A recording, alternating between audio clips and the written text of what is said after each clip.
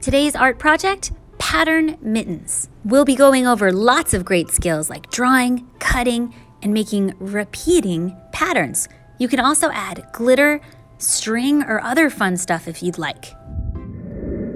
The Mitten by Jan Brett. Once there was a boy named Nicky who wanted his new mittens made from wool as white as snow. At first, his grandmother, Baba, did not want to knit white mittens.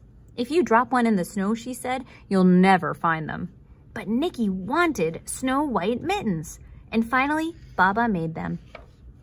After she finished, she said, when you come home, first I will look to see if you are safe and sound, but then I will look to see if you still have your snow white mittens. So off Nicky went, and it wasn't long until one of his new mittens dropped into the snow and was left behind. A mole, tired from tunneling along, discovered the mitten and burrowed inside. It was cozy and warm and just the right size, so he decided to stay. Now look in this mitten shape. Do you see an animal? The illustrator, Jan Brett, uses this mitten shape to kind of give us a hint about who's coming next. A snowshoe rabbit came hopping by. He stopped for a moment to admire his winter coat. It was then that he saw the mitten and wiggled in feet first.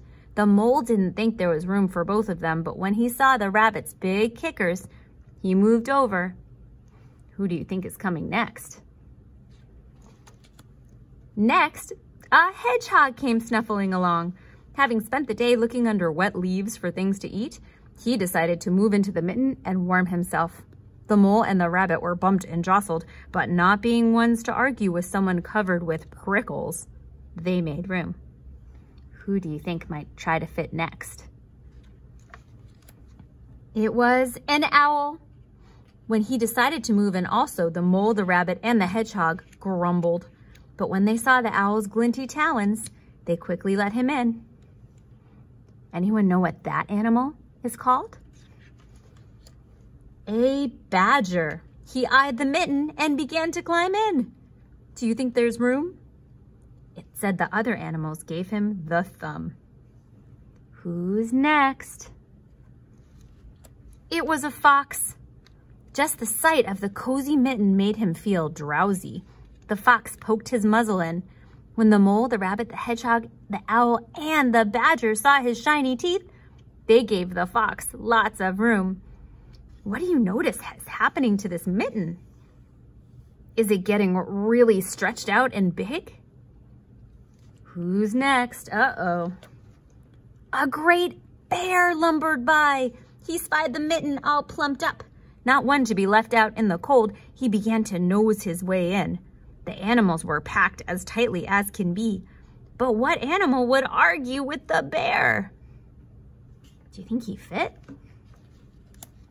Along came a meadow mouse, no bigger than an acorn. She wriggled onto the one space left and made herself comfortable on top of the great bear's nose. The bear, tickled by the mouse's whiskers, gave an enormous sneeze. Can you give a sneeze? Ah, Achoo!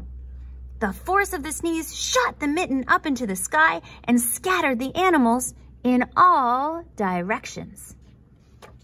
On his way home, Nicky saw a white shape in the distance. It was the lost mitten silhouetted against the blue sky. As he ran to catch his snow white mitten, he saw Baba's face in the window. First, she looked to see if he was safe and sound, and then she saw that he still had his new mittens. Oh my goodness. What do you notice about these two mittens? I bet Baba is wondering what happened. The first thing for us to do is to draw some mittens. We're gonna use our hands to help us, but your hands are little and we don't wanna draw teeny tiny little mittens. So here's what I'd like you to do. Take one hand and put it on one side of your paper with your thumb out and your fingers together like this. Quack, quack. Then take your pencil. Start at the bottom of your paper. Now, instead of tracing every finger, like you're tracing a turkey or something, you are going to go around your whole hand. Don't be afraid to make it way bigger. Bigger is better. It means there'll be more space for us to color. So there's one mitten. Awesome. That's pretty big, but I like it. Now I'm gonna put my other hand down and try with my other hand. If this feels really, really hard to do, ask a grown-up to help. It's hard to draw with your opposite hand. this one looks a little wobblier, but that's okay. I did my best. I like them. Maybe one of them got stretched out by all the animals in the book. After we've drawn two mittens, we're going to make lines across them. So I'm gonna start on one side of the mitten and draw a line all the way to the other. Let's draw at least four lines. One, two, three, four. You can even draw more lines if you want to. I'm gonna do the same thing on the other side.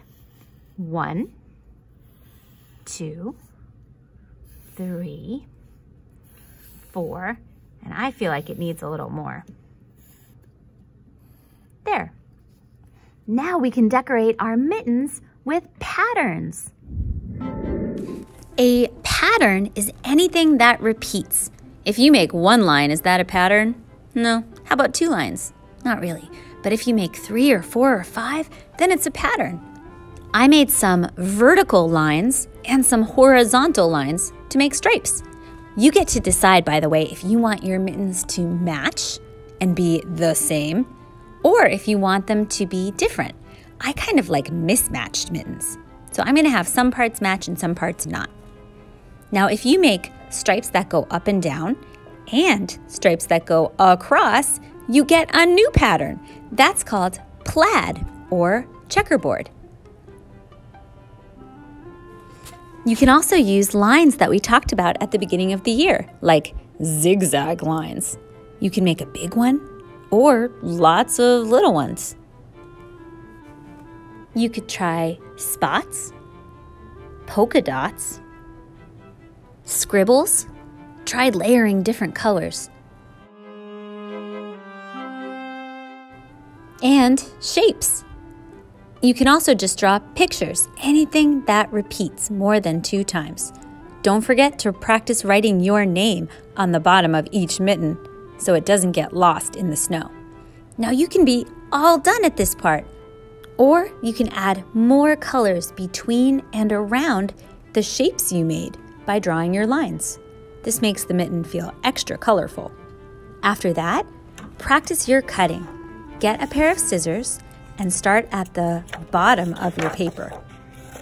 Make sure your thumb is in the little hole. Follow your mitten around the edge. Try turning your paper, not your scissors.